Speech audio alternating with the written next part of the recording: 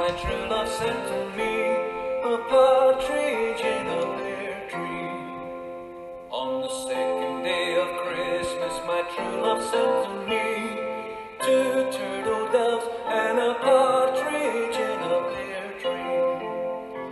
On the third day of Christmas, my true love sent to me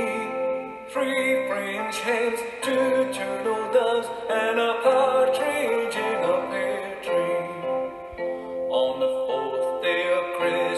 my true love sent to me four calling birds, three French hens, two turtle doves, and a partridge in a pear tree.